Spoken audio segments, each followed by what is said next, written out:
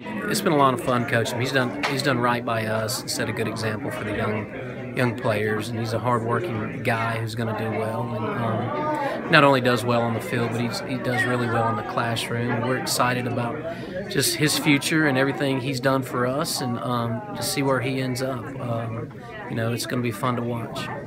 So, coaching him for two years, what were some of his strengths?